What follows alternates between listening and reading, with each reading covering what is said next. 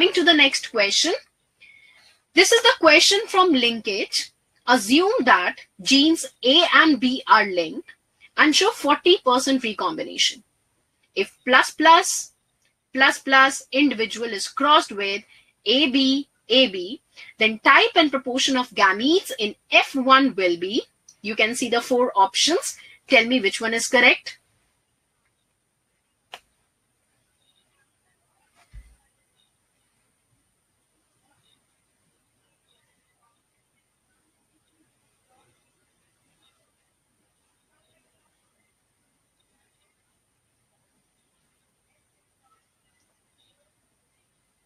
No, Parvez, that is why we are calling her carrier na. If she's also having the disease, if she is expressing it, then why we are calling it carrier? Why we are calling her carrier? Zina, the question is very easy.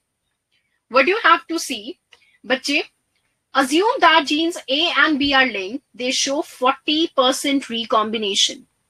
Don't go on the words. Just mark the point 40% recombination. Can I say if we have 40% recombination, then you can see 60% of the parental combination. Exactly correct, Aditya, 60% parental. Bilkul correct. The parents are plus plus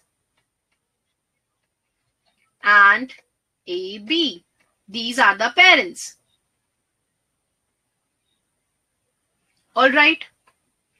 Can I say, bache, the recombinants will be something like this? These will be the recombinants. And what is the proportion of these recombinants? They are 40%. They are 40%. So can I say the parent combination will be 60%?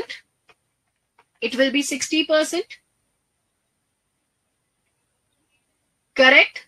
Now, can anyone tell me the correct option? Anyone? Option 4 is right. But if I start with option 1, this is wrong. Why? Because the parents are providing 40%. This is wrong. 20 and 20, 40%. The recombinants are providing 60%. So, this is wrong. Shreya, are you getting this question?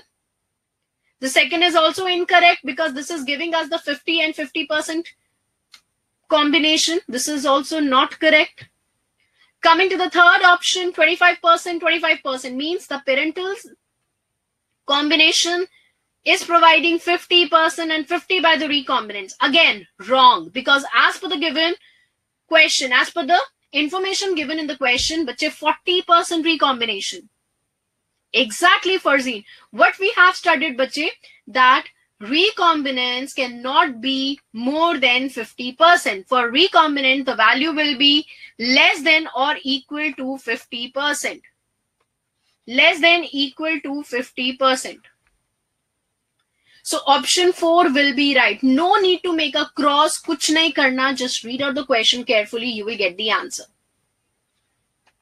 You will get the answer. Rahul,